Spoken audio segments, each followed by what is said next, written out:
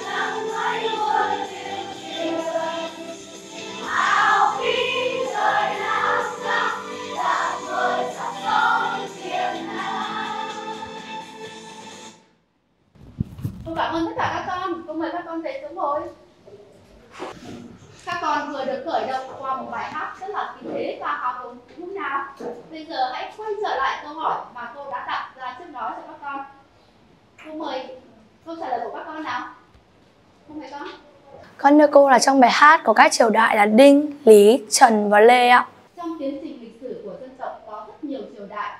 Cô muốn giới thiệu với các con về một triều đại mà để lại nhiều dấu ấn đậm nét đối với mảnh đất Thăng Long Hà Nội, đó là triều Lý. Để giúp các con hiểu sâu hơn về vương triều này, ngày hôm nay cô trò chúng ta sẽ cùng nhau đi tìm hiểu qua bài Triều Lý và việc định đô ở Thăng Long. Hôm mời các con mở sách giáo khoa trang 40, mở vở ghi.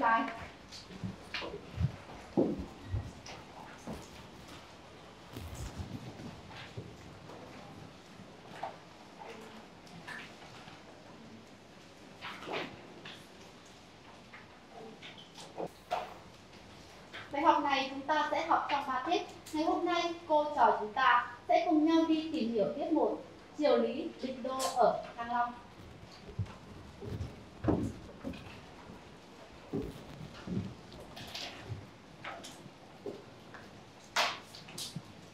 Với sự thông minh và tài giỏi hơn người nên sau khi Lê Long đến mất không có con nối dõi, các quan trong triều tiền Lê đã tôn ông lên làm vua, tức vua Lý Thái Tổ sáng lập ra triều Lý vào năm 1009. Việc làm đầu tiên và quan trọng ngay sau khi Lý Công Uẩn lên làm vua đó là rời đô. Vậy thì việc rời đô đó diễn ra như thế nào? Như vậy, năm 1010, vua Lý Thái Tổ rời đô ra thành Thái La, đổi tên thành Thăng Long. Để hiểu rõ hơn vì sao ông lại rời đô ra Đại La, mục đích và ý nghĩa của việc rời đô này như thế nào, thì cô mời các con sẽ cùng thảo luận nhóm 6 để chúng ta tìm câu trả lời nhé. Cô mời một bạn đọc cho cô nội dung thảo luận nào. Cô mời Thanh Hà. Dạ, con thưa cô, thảo luận nhóm, đọc thông tin tư liệu, trích trong chiếu rời đô, trang 41, trả lời câu hỏi 1.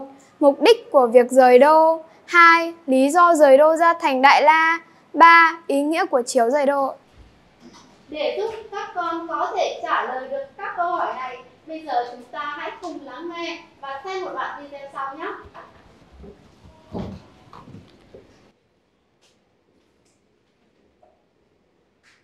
chi thành đại la đô cao hơn ở giữa khu vực trời đất, được thế dòng châu hổ phục. Chính giữa nam bắc đông tây tiện nghi núi sông sau trước. Cùng này mặt đất rộng mà băng phẳng, thế đất cao mà sáng sủa. Dân cư không khổ thấp chúng tối ta muôn vật hết sức tươi tốt, hồn thịnh xem khắp nước việt, đó là nơi thắng địa. Thật là chỗ tu hội quan yếu của bốn phương. Đúng là nơi thượng đô kinh sư mãi muôn đời. Các con đã nghe rõ chưa? Rồi ạ. Bây giờ cô mời các con sẽ thảo luận nhóm 6 chúng ta sẽ cùng ghi ý kiến của mình vào phiếu thảo luận cho cô. Thời gian cho các con làm việc theo nhóm 6 là 7 phút.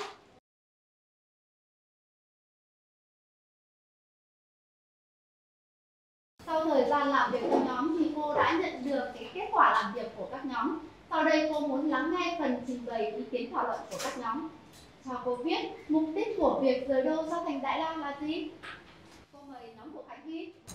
Thưa cô và các bạn, sau đây nhóm con xin trình bày kết quả thảo luận của nhóm con. Mục đích của việc rời đô Cốt để mưu nghiệp lớn, làm kế cho con cháu muôn vạn đời, cho nên vận nước lâu dài, phong tục giàu thịnh. Mấy các nhóm có ý kiến nhận xét. Mời nhóm của cậu. Tớ cũng đồng ý với cái kết quả thảo luận của nhóm cậu. Tớ cảm ơn ý kiến nhận xét của nhóm cậu. Còn nhóm nào có ý kiến bổ sung khác không? Nếu không còn ý kiến khác, tớ, nhóm tớ xin kết thúc phần trình bày ở đây. Cô cũng đồng ý với ý kiến thảo luận của nhóm bạn Khánh Huy và ý kiến nhận xét của nhóm bạn Khánh.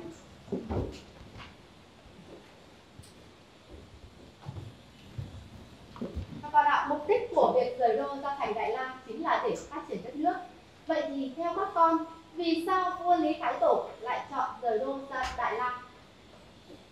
không mời ý kiến của nhóm bạn à, Giang nào. Con thưa cô và các bạn, sau đây con xin trình bày kết quả thảo luận của nhóm con. Lý do Lý Công Uẩn rời đô ra Đại La là vì Đại La ở giữa khu vực trời đất, được thế rồng quận hổ ngồi, tiện nghi núi sông sau trước. Có nhóm nào có muốn có ý kiến bổ sung không? Tớ mời nhóm cậu. Tớ muốn bổ sung thêm cho nhóm cậu là vùng này đất rộng mà bằng phẳng, thấy đất cao mà sáng sủa, muôn vật hết sức tươi tốt phồn thịnh. Nhóm nào có ý kiến bổ sung nữa không? Nếu không còn, tớ xin kết thúc phần trình bày của nhóm tớ tại đây. Cô đồng ý với ý kiến của nhóm bạn Thanh Ngân.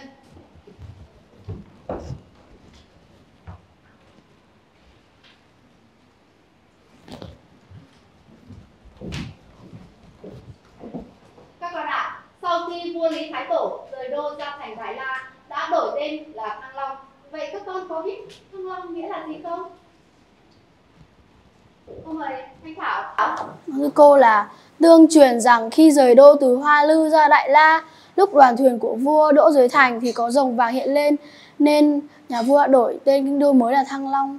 Và Thăng Long nghĩa là rồng bay lên ạ. Cô cảm ơn ý kiến của bạn Thanh Thảo. Cả lớp hãy cho bạn Thanh Thảo một tràng vỗ tay cho cô nào. Với mong muốn vận nước được lâu dài, phong tục giàu thịnh, nên vua Lý Thái Tổ đã chọn một nơi có đủ điều kiện để phát triển kinh đô mới, đó là thành Đại La. mà ông nhận thấy đây là một vùng đất có thế thơm thuận, hổ ngồi, đất rộng mà bằng phẳng, thế đất cao mà sáng sủa. Và ông nhận xem khắp nước Việt, đây chính là nơi thắng địa, thực là chỗ hội tụ quan yếu của bốn phương, đúng là nơi thượng đô kinh sư mãi muôn đời Vậy thì cái việc rời đô ra thành Đại La đó nó có ý nghĩa như thế nào? Cô mời ý kiến của nhóm Cô mời ý kiến của nhóm Trung Anh nào. Con thưa cô và các bạn, sau đây con xin phát con xin uh, phát biểu ý kiến của nhóm con. Ý nghĩa của việc rời đô ra thành Đại La thể hiện tầm nhìn sáng suốt của vua Lý Thái Tổ, đồng thời mở ra thời kỳ mới của đất nước. Có nhóm nào có có ý kiến gì không ạ? Mời bạn. Tớ muốn bổ sung thêm chữ phát triển trong câu đồng thời mở ra thời kỳ mới của đất nước. Tớ cảm ơn ý kiến của nhóm bạn Anh Thư. Còn nhóm nào có muốn bổ sung ý kiến không? Nếu không còn nhóm nào muốn bổ sung ý kiến, tớ xin kết thúc bài trình bày ở đây. Cô cảm ơn ý kiến của nhóm bạn Thùy Chi. Đúng như là bạn Anh Thư đã nhận xét đúng không ạ? Còn lưu ý cho cô thì sao trả lời. Đó là gì ạ? Ý nghĩa của cái việc rời đô ra thành Đại Lan nó thể hiện cái tầm nhìn sáng suốt của vua Lý Thái Tổ, đồng thời mở ra thời kỳ phát triển mới của đất nước.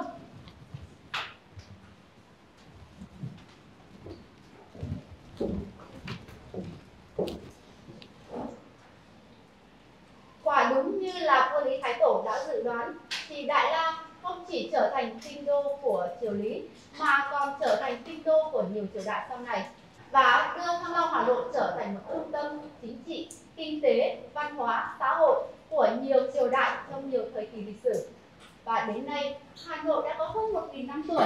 Nó vẫn minh chứng cho cái lựa chọn của vua Lý Thái Tổ trở thành thủ đô của Việt Nam và trở thành một trung tâm về chính trị, kinh tế, văn hóa, xã hội lớn lớn của nước ta các con ạ cô nhận thấy các nhóm còn lại các con cũng đã đưa ra được ý gì cô khen các nhóm làm việc rất là hiệu quả. Và một tràng vỗ tay thật sự to cho cô nào?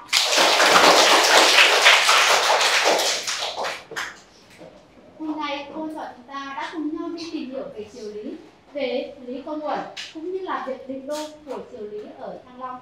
Bây giờ, cô sẽ thưởng cho các con một trò chơi. Các con đồng ý không? Các con hãy ghi những nét cơ bản nổi bật về cuộc đời cũng như là những đóng góp của vua lý thái tổ và các tấm thẻ thời gian cho các con làm việc cá nhân là một phút các con đã hiểu rõ chưa nhỉ Rồi ạ.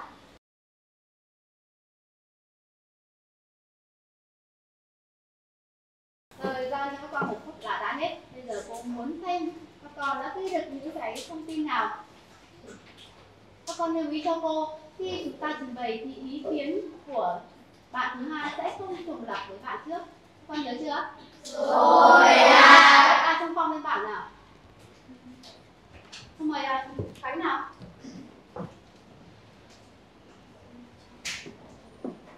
Còn bạn nào có ý kiến bổ sung thêm không? À không đúng không nào? Cô nhận thấy rằng là trong thời gian là một phút các con đã ghi được rất nhiều những thông tin về vua lý thái tổ. Tuy nhiên thì các bảng này lại chưa sắp xếp theo đúng trật tự. Bây giờ các con hãy sắp xếp lại giúp cô. Cô mời quang minh.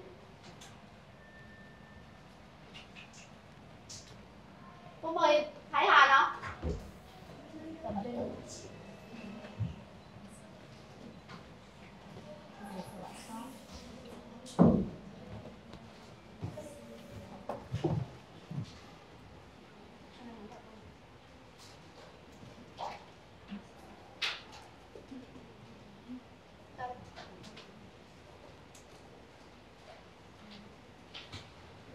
Cô cảm ơn hai bạn đã đang về chỗ.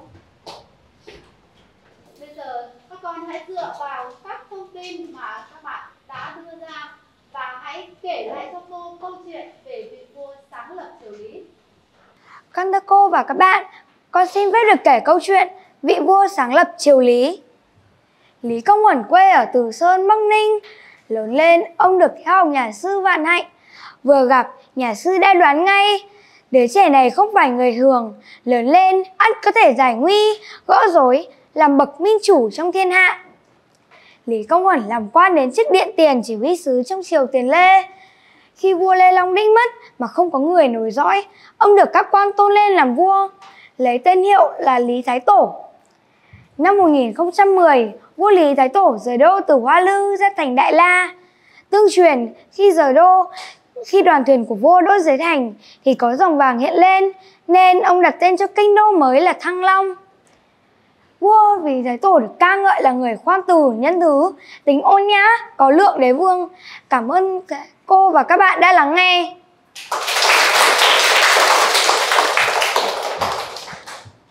Cảm ơn bạn Chi. Qua câu chuyện của bạn Linh Chi thì cô thấy bạn Linh Chi đã kể đúng nội dung câu chuyện, lời kể tự nhiên, sáng tạo. Và qua câu chuyện này thì chúng ta có thể thấy được công lao của vua Lý Thái Tổ đó là sáng lập ra triều Lý và rời đô từ Hoa Lư giá Đại La, Thăng Long. Ngày nay thì tại vườn hoa Lý Thái Tổ, tại vườn hoa Lý Thái Tổ có đặt tượng đài Lý Thái Tổ như để một cách tri ân những đóng góp của vua Lý Thái Tổ đối với mảnh đất Thăng Long, Hà Nội và đối với đất nước. Tiết học của chúng ta đến đây là kết thúc rồi. Các con hãy về nhà sưu tầm tranh ảnh, tư liệu, câu chuyện về các nhân vật lịch sử, về di tích lịch sử thời Lý để tiết học sau cô trò chúng ta sẽ cùng nhau đi tìm hiểu công cuộc xây dựng và bảo vệ đất nước từ triều Lý. Các con đồng ý không? Có. Chúng ta đến đây là kết thúc rồi. Cô cảm ơn tất cả các con.